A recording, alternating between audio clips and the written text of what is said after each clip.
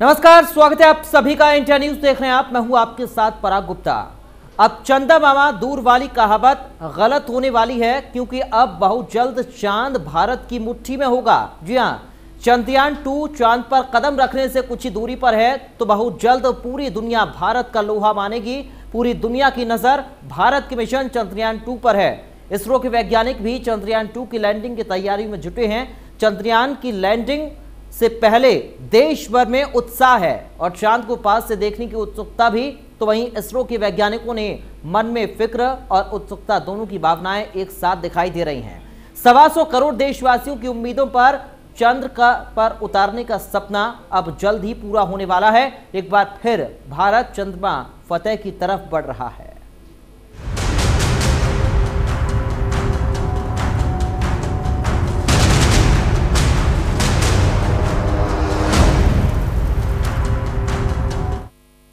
तो एक बार फिर से भारत इतिहास रचने से कुछ ही कदम दूर है और अब इंतज़ार है चंद्रयान टू के चंद्रमा की सतह पर उतरने का। कुछ ही घंटों बाद चंद्रमा की सतह पर चंद्रयान टू उतरेगा और फिर शुरू होगी चंद्रमा पर भविष्य की तलाश। मिशन चंद्रयान टू के अंतिम पड़ाव में लैंडर विक्रम और रोवर प्रज्ञान चाँद पर जीवन की खोज करेंगे। आखिर चंद्रयान टू मिशन में अब तक क्या क्या हुआ और आगे क्या होगा? इस रिपोर्ट में देखिए। चंद्रयान टू चंद्रमा को छूने से कुछ ही किलोमीटर दूर है। 6 सितंबर की रात चंद्रयान टू चाँद पर लैंड करेगा। लैंडर विक्रम 7 सितंबर को चाँद की सतह पर सॉफ्ट लैंडिंग करेगा। वैज्ञानिकों के मुताबिक चाँद की सतह पर सॉफ्ट लैंडिंग इसरो के लिए इस मिशन की सबसे बड़ी चुनौती होगी, क्योंकि चंद्रमा पर वायुमंडल नहीं है और गुरुत्वाकर्षण बल भी हर जगह अलग अलग है। ये लैंडिंग चाँद के दक्षिणी ध्रुव पर होगी। इसके साथ ही भारत चाँद के दक्षिणी ध्रुव पर यान उतारने वाला पहला देश बन जाएगा। लैंडिंग के 15 मिनट बाद इसरो चाँद की सतह की पहली तस्वीर जारी करेगा। लैंडर जैसे ही चाँद की सतह पर उतरेगा, उसका इंजन बंद हो जाएगा। लैंडर और रोवर चाँद पर एक दिन बिताएँगे। चाँद का एक दिन पृथ्वी के चौदह दिन के बराबर होता है। लैंडर विक्रम चार दिन तक तीन गुणा सौ मीटर के दायरे में चक्कर लगाएगा। लैंडर चाँद पर इलेक्ट्रॉन डेंसिटी, तापमान में उतार चढ़ाव। और ये जांचेगा कि चाँद पर भूकंप आते हैं या नहीं। वहीं लैंडिंग के चार घंटे बाद रोवर प्रज्ञान चाँद की सतह पर आएगा और 500 मीटर तक चलेगा। रोवर प्रज्ञान चाँद की सतह पर खनिज तत्वों की मौजूदगी और चाँद की मिट्टी की मौलिक संरचना पर डेटा जुटाएगा। लैंडर विक्रम और रोवर प्रज्ञान चाँद पर पानी और पर्यावरण की खोज करेंगे। साथ ही हीलियम थ्री की भी जानकारी जुटाएँगे। 22 जुलाई को लॉन्च हुए इस मिशन ने इससे पहले 23 दिन पृथ्वी के चक्कर लगाए थे। इसके बाद चंद्रमा की कक्षा में पहुँचने में इसे 6 दिन लगे।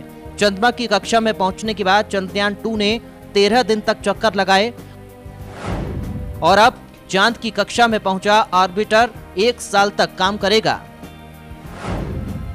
इसका काम पृथ्वी और लैंडर के बीच कम्युनिकेशन करना है। ऑर्बिटर चाँद की सतह का नक्शा तैयार करेगा। पानी की मौजूदगी में खनिज तत्वों का पता लगाएगा। यान की सॉफ्ट लैंडिंग के लिए चाँद की सतह को स्कैन करेगा। चंद्रमा के बाहरी वातावरण के बारे में जानकारी जुटाएगा। चंद्रयान टू की इन कोशिशों से चाँद के अस्तित्व और विकास का पता लगाया जाएगा, जिससे भविष्य में इंसान और मानव सभ्यता को बचाने के लिए चाँद पर जीवन की तलाश की जा सके। Bureau report, India News. Bharat ने 11 साल पहले चंद्रमा पर अपना पहला मिशन चंद्रयान भेजा था। चंद्रयान एक ऑर्बिटर था जिसने चंद्रमा से 100 किलोमीटर दूर रहकर चंद्रमा की सतह पर खोज की थी।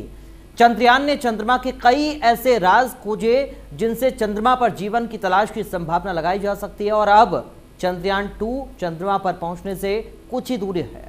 कैसा था भारत का पहला मिशन मून और Chandrayaan two mission? Chandrayaan one से कितना अलग है? ये इस रिपोर्ट में देखिए।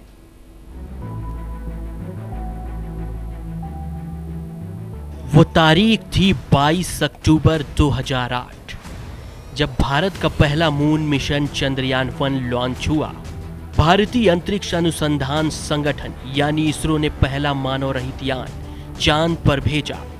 ये यान polar satellite launch vehicle PSLV के एक रॉकेट की सहायता से सतीश धवन अंतरिक्ष केंद्र से प्रक्षेपित किया गया। चंद्रयान वन चाँद पर 30 अगस्त 2009 तक सक्रिय रहा। इसे चंद्रमा तक पहुँचने में पाँच दिन लगे और चंद्रमा की कक्षा में स्थापित करने में पंद्रह दिनों का समय लगा।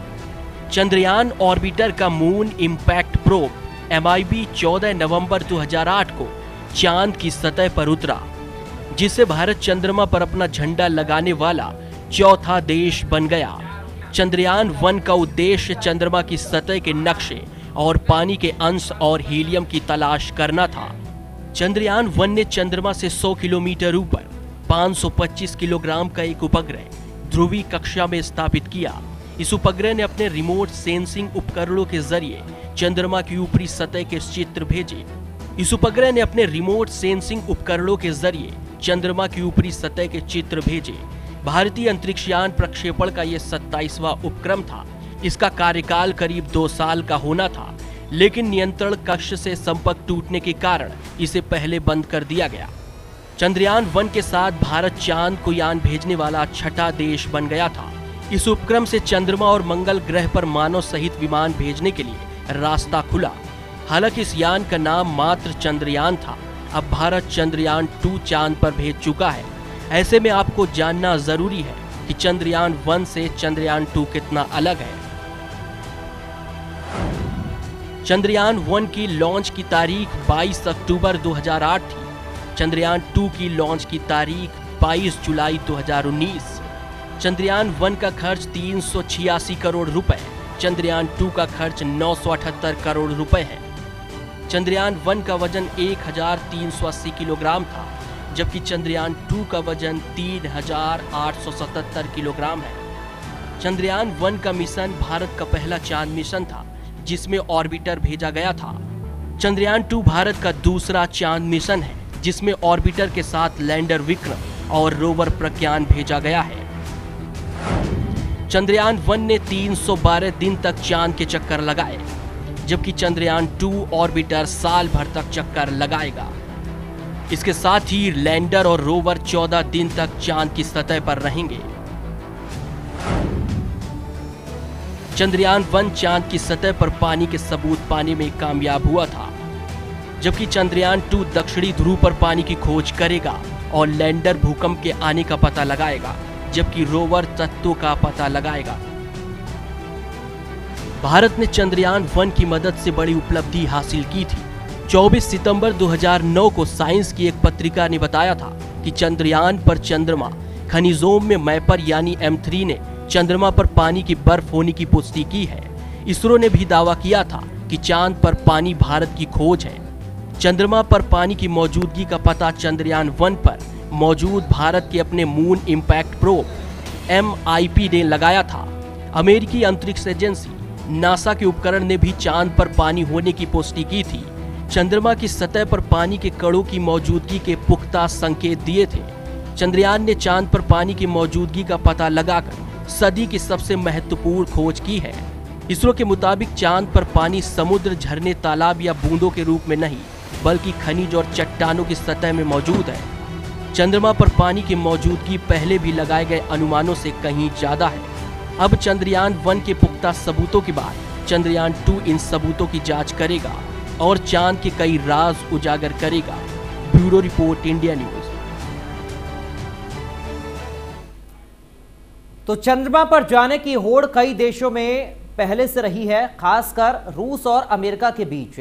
इन देशों के बाद भारत और चीन के नाम आते हैं। भारत ने हालाँकि अपनी पहली कोशिशों में ही चंद्रयान वन और चंद्रयान टू को भेजकर बाकी देशों को चौंका दिया है।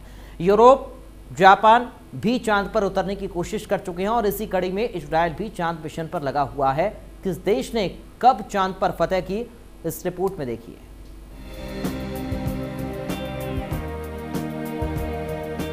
भारत चंद्रमा पर फतेह करने वाला चौथा बड़ा देश बन गया है। भारत की तरह ही चाँद की सतह पर उतरने का कारनामा अमेरिका, रूस और चीन के नाम दर्ज है। इसके साथ ही यूरोप और जापान जैसे देश भी चंद्रमा पर अपना मिशन भेज चुके हैं। हालाँकि इन दोनों देशों ने चंद्रमा पर ऑर्बिटर भेजा है, न कि कोई यान या लैंडर। भारत चंद्रयान टू को भेजने के बाद चौथा देश बन गया है। भारत ने अब तक सबसे कम खर्च में चाँद की दूरी तय की है। अब आपको ये जानना ज़रूरी है कि आखिर कब किस देश ने चंद्रमा पर मिशन भेजा है। अमेरिका, रूस, चीन और भारत अब तक चंद्रमा पर पहुँचे हैं, जबकि यूरोप और जापान ने चाँद पर ऑर्बिटर भेजा है। उन्नीस सौ उनसठ में सोवियत संघ ने चाँद पर अपना मिशन लूना टू भेजा है। 1964 में पहली बार अमेरिका ने मिशन एटलस एलवी थ्री भेजा। उन्नीस सौ उनहत्तर में अमेरिका ने अपोलो 11 मिशन चाँद पर भेजा। उन्नीस सौ तिरासी में जापान ने अपना mission M U three S second भेजा। यूरोपीय स्पेस एजेंसी ने 2004 में SMART one lunar probe mission भेजा था। 2006 में अमेरिका का न्यू होरा इजन प्लूटो मिशन चाँद पर पहुँचा। चीन ने 2018 में लॉन्ग चियोंग ऑर्बिटर चाँद पर भेजा था। भारत ने चंद्रयान वन मिशन भेजा था। हालाँकि चाँद पर उतरने की कई देशों में होड़ रही है, लेकिन कामयाबी चार देशों के हाथ ही लगी है। बाकी अमेरिका और रूस की कई कोशिशें असफल रही हैं। यूरोप, जापान की तरह इजराइल भी अब चाँद पर जाने की कोशिश में लगा है। भारत एकमात्र ऐसा देश है, जिसकी पहली कोशिश में चंद्रयान वन मिशन सफल हुआ और चंद्रयान टू भी पहली कोशिश में कामयाब हुआ। ऐसे में भारत ने एक बार फिर पूरी दुनिया को दिखा दिया है कि वो किसी से कम नहीं है। आज पूरी दुनिया इसरो के वैज्ञानिकों का लोहा मानती है। Bureau report, India News. चंद्रमा पर जाने की होड़ कई सालों से रही है। अमेरिका और रूस ने 1950 से ही इसकी शुरुआत की थी। भारत ने 2008 में पहली बार चाँद पर फतेह की। चीन, जापान और इजराइल भी इस रेस में हैं। हालाँकि अमेरिका, रूस, चीन और भारत चार देश ऐसे हैं जिन्होंने चाँद तक अपना मिशन पहुँचाया है। और अब सवाल है कि आखिर चाँद पर ऐसा क्या है कि इन देशों में चाँद पर जाने की होड़ मची है? इस रिपोर्ट में देखिए। भारत के चंद्रयान टू मिशन का मकसद चंद्रमा पर जानकारी जुटाना और ऐसी खोज करना है, जिससे भारत के साथ साथ पूरी मानवता को लाभ हो। चंद्रयान टू खोज के एक नए युग को बढ़ावा देने की कोशिश करेगा। चंद्रयान टू अंतरिक्ष के प्रति हमारी समझ बढ़ाने, तकनीक की प्रगति को बढ़ावा देने, वैश्विक तालमेल को आगे बढ़ाने और खोजकर्ताओं, वैज्ञानिकों की भावी पीढ़ी को प्रेरित करने में सहायक साबित होगा। चंद्रयान टू पहला भारतीय अभियान है, जो स्वदेशी तकनीक से चंद्रमा की सतह तक पहुँचाया गया है। दुनिया के कई देश चाँद को जानने के लिए कई सालों से लगे हैं। आखिर चाँद को जानना इतना ज़रूरी क्यों है? दक्षिणी ध्रुव का महत्व। चंद्रमा का दक्षिणी ध्रुव बहुत ही दिलचस्प है, क्योंकि इसकी सतह का बड़ा हिस्सा उत्तरी ध्रुव की तुलना में अधिक छाया में रहता है। हमेशा छाया में रहने वाले इन क्षेत्रों में पानी होने की संभावना है। इसके अतिरिक्त, चंद्रमा के दक्षिणी ध्रुवीय क्षेत्र के ठंडे क्रेटर्स में शुरुआती सौर प्रणाली के लुप्त जीवाश्म रिकॉर्ड मौजूद हैं। पानी की खोज पर बल। पानी की मौजूदगी चाँद के दक्षिणी ध्रुव पर भविष्य में इंसान के लिए फ़ायदेमंद हो सकती है। चंद्रमा पर पानी पृथ्वी की सतह की तरह मिलने की संभावना नहीं है, बल्कि वहाँ पानी ठोस बर्फ़ के रूप में मिल सकता है। इसका कारण है कि वहाँ वायुमंडल नहीं है। अगर चंद्रमा पर पानी मिलता है तो ये एक बहुत बड़ी उपलब्धि होगी। उस पानी का प्रयोग ईंधन के रूप में हो सकेगा। जल को अपघटित कर हाइड्रोजन और ऑक्सीजन के रूप में तरल ईंधन का प्रयोग क्रायोजेनिक इंजन में भी हो सकेगा। इसी तरह पानी का उपयोग चंद्रमा पर भविष्य में अंतरिक्ष यात्रियों के सांस लेने के लिए ज़रूरी ऑक्सीजन बनाने के लिए भी हो सकेगा। पृथ्वी से चंद्रमा की औसत दूरी तीन लाख चौरासी हज़ार किलोमीटर है। ऐसे में चंद्रमा भविष्य में हम लोगों के लिए दूर होकर स्पेस कार्यक्रमों के लिए लॉन्चिंग पैड के रूप में भी कार्य कर सकेगा। भविष्य की तलाश। चंद्रमा पृथ्वी का नजदीकी उपग्रह है, जिसके माध्यम से अंतरिक्ष में खोज के प्रयास किए जा सकते हैं और इससे जुड़े आंकड़े एकत्र किए जा सकते हैं। स्टीफन हॉकिंग ने कहा था कि अंतरिक्ष में जाए बिना मानव प्रजाति का कोई भविष्य नहीं होगा। ऐसे में चंद्रमा डीप स्पेस प्रोग्राम के लिए ज़रूरी तकनीकी परीक्षण केंद्र के रूप में उपयोगी हो सकेगा। इसके अतिरिक्त चंद्रमा पर भारी मात्रा में खनिज संसाधनों की भी संभावना है। Chandrayaan two large area soft x-ray, spectrometer से magnesium, aluminium, silicon calcium titanium, iron और सोडियम जैसे तत्वों की मौजूदगी का भी पता लगाएगा। हीलियम थ्री, स्वच्छ ऊर्जा का स्रोत। स्वच्छ ऊर्जा, यानी ग्रीन एनर्जी के लिए तरस रही दुनिया के लिए भारत का चंद्रयान टू, उम्मीद की एक नई किरण साबित हो सकता है। दरअसल, भारत की नज़र चंद्रमा पर बड़ी मात्रा में पाए जाने वाले एक अनमोल खजाने हीलियम थ्री पर है। इस खजाने की खोज की दृष्टि से भी चंद्रमा का दक्षिणी ध्रुव महत्वपूर्ण है। हेलियम थ्री पर भारत की नज़र काफ़ी पहले से है। साल 2006 में इसरो के तत्कालीन चेयरमैन माधवन नायर ने ज़ोर देकर कहा था कि चंद्रयान वन चंद्रमा की सतह पर हेलियम थ्री की तलाश करेगा और वर्तमान इसरो चेयरमैन के सिवन ने भी कहा है कि जिस देश के पास ऊर्जा के इस स्रोत को चाँद से धरती पर लाने की क्षमता होगी, वो इस पूरी दुनिया पर राज करेगा। 500 साल की ऊर्जा जरूरतें हो सकती हैं पूरी। चंद्रमा पर हीलियम थ्री होने की पुष्टि, मशहूर भूवैज्ञानिक हैरियन स्मिट ने 1972 में अपोलो 17 मिशन के चाँद से लौटने के बाद की थी। नासा के मुताबिक, चंद्रमा पर 10 lakh metric ton helium three मौजूद है। पृथ्वी का मैग्नेटिक फ़ील्ड एरिया इसे सूर्य से धरती की सतह पर पहुँचाने से रोकता है, लेकिन चंद्रमा का कोई मैग्नेटिक फ़ील्ड एरिया नहीं है। इसलिए सूर्य, सौर वायु से लगातार उत्सर्जित हो रहे हीलियम थ्री को चाँद की सतह पर लगातार अवशोषित कर रही है। अगर चंद्रमा पर मौजूद हीलियम थ्री का एक चौथाई हिस्सा भी लाया जाए तो पृथ्वी की 500 साल की ऊर्जा जरूरतों को पूरा किया जा सकता है। सबसे महत्वपूर्ण ये है कि हीलियम थ्री का परमाणु रिएक्टरों में प्रयोग करने पर परमाणु कचरे का भी उत्सर्जन नहीं होता। तकनीकी दक्षता 15 जुलाई को इसरो ने एक तकनीकी गड़बड़ी के कारण छप्पन मिनट चौवन सेकेंड पहले काउंटडाउन रोककर चंद्रयान टू के प्रक्षेपण को स्थगित कर दिया था। आखिरी वक्त पर कमियों का पता लगाकर उन्हें दूर कर लेना इसरो की तकनीकी दक्षता को ही प्रतिबिंबित करता है। इससे स्पष्ट होता है कि आखिरी समय में प्रक्षेपण पर रोक लगाना अंतरिक्ष अभियानों में सामान्य है। प्रक्षेपण से पहले इस तरह की खामियों का पता लगाने और उन्हें सुधारने की क्षमता से इसरो की विश्वसनीयता दोबारा साबित हुई है। इसरो के बिना डिजिटल इंडिया संभव नहीं। कई बार इसरो की आलोचना की जाती है कि जब देश गरीबी, बेरोजगारी जैसी समस्याओं से जूझ रहा है, तब स्पेस कार्यक्रम में इतना बड़ा खर्च क्यों किया जाता है? दरअसल ऐसे आलोचक तकनीक की क्षमताओं की अनदेखी कर रहे हैं। आज हमारा संपूर्ण कम्युनिकेशन सिस्टम और जीवन शैली इसरो के उपग्रहों के द्वारा ही संचालित है। उदाहरण के लिए भारत ने हाल ही में ओडिशा में आए खतरनाक चक्रवात का सुरक्षित मुकाबला इसरो के उपग्रहों से मिली सूचनाओं के आधार पर ही किया था। डिजिटल इंडिया इसरो के उपग्रहों के बिना संभव नहीं है। चंद्रयान टू मतलब हैवी साइंस मिशन। इसरो ने चंद्रयान टू को हैवी साइंस मिशन भी कहा है, क्योंकि यह मिशन न केवल हमारे टेलीकम्युनिकेशन सिस्टम से जुड़ा है, बल्कि यह विज्ञान के विकास में मानवता को संपूर्ण सहयोग भी देगा। भारत की अंतरिक्ष से जुड़ी क्षमताएँ आगे बढ़ चुकी हैं। चंद्रयान टू ने भारतीयों को कल्पनाओं के पंख भी दे दिए हैं। इसलिए स्वाभाविक है कि भारत जोश के साथ चंद्रमा और ग्रहों को जानना चाहता है जिससे भविष्य और विकास से जुड़े सवालों को मानव जीवन की नई संभावनाओं से हल किया जा सके। Bureau report, India News.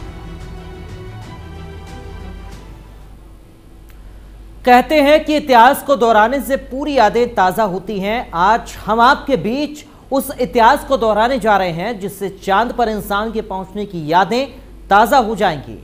आज से 50 साल पहले इंसान ने पहली बार चाँद पर पैर रखा। पूरी दुनिया ने यह सुनकर गर्व महसूस किया। वो कौन सा देश था जिसके हिस्से में यह कामयाबी आई और वो कौन सा इंसान था जिसने चाँद पर कदम रखकर पूरी दुनिया को चकित कर दिया था? ये रिपोर्ट देखिए।